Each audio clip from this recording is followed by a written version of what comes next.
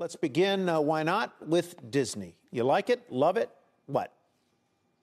I do love the mouse tie, and I think you'd be a buyer here. And it's really interesting. Today's the Disney Plus day. And if you look at the stock, certainly it has some technical support at $107. But what's interesting about today, being the Disney Plus day, they're going to have Thor, the Thunder and Love movie come out, but they're also having a live action reenactment of Pinocchio starring Tom Hanks. So content is king. What's really interesting about Disney, I've talked everything about streaming, and certainly the streaming, the subscriber is what investors are looking at. And they're looking at the end of 2024, Ty, to see that number near 250 million subscribers. So that aside, we haven't even talked about the reopening of the parks and all the other moving pieces, which we used to focus as and focus on as investors. So I like being a buyer here at Disney. I think it goes higher from 112 and above.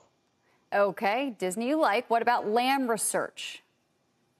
You know, I'm a buyer here as well. The kind of coattail our friends at Stifel, they talked about the chips. Certainly, Lam Research has had a rough year, Courtney, down 41%. And if you think about the diversification of their customer base, right? They have Samsung, they have Micron, they have Intel. They do have some diversification, but it's interesting. I think if you look at where it is right now, again, it's a technical component of the 50 day moving average. It's in price discovery mode, but this is where you kind of have to take a shot Yes, I know we're not seeing semiconductors really revealing a ton of relative strength. They've fallen out of favor. We've seen take, people take profits, but Lam is kind of those under the radar names that I like a lot, we like a lot, and I think it has the ability to move higher.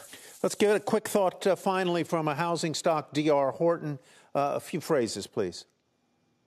New home sales fell to the lowest level in six years' time. Mortgage rates went up to 6%, the highest level since 2008. I think there's more room to the downside on this stock. Unfortunately, we have seen a rough year down 33%. So selling, staying away, not touching. Wow, that's very interesting. And of course, all those uh, housing stocks, or so many of them, have been in the same boat as DR Horton. Jeff Kilburg, we thank you very much. We appreciate your time today.